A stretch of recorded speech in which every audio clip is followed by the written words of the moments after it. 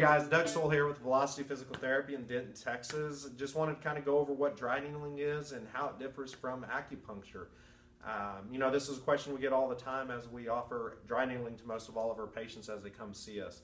There's a lot of research behind it, you know, really quick results, and patients love it and relatively pain free for the patient to go through. Um, so we'll kind of touch base with acupuncture and then finish it off with dry needling. You know, acupuncture is based on traditional Chinese medicine. Uh, there's meridians throughout the body that have acupoints on them, and those needles are inserted into those acupoints, and they're trying to move chi or energy up and down those meridians and treating the systems of the body. Where when we're using dry needling, the philosophy behind it is based on Western modern scientific studies of the musculoskeletal system and the nervous system. Um, so we're putting inserting these needles into muscle bellies, into tendons, and uh, you know maybe where the tendon and the bone is uh, joined together, uh, or even around a nerve to stimulate the nerve.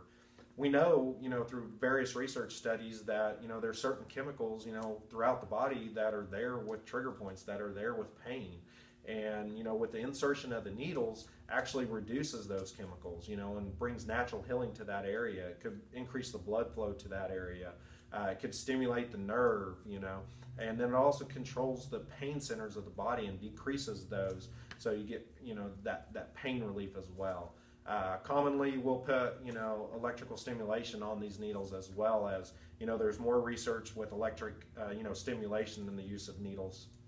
So uh, we'll often use that, you know, in conjunction with it, uh, the, the needling in itself. You know, they're left in the body for about 10, 15, 20 minutes, taken out, and then may have a little bit of soreness from it, uh, but typically we get some good pain relief and improved range of motion and uh, just a lot of good results. So if you're curious about any of our other services or even more about dry needling, give us a call. Check us out on our website at velocity-pt.com. Subscribe to our YouTube channel. We'll be bringing you more information about our services uh, and testimonials from patients. So we look forward to seeing you guys, um, you know, here at Velocity Physical Therapy, and you guys have a great day.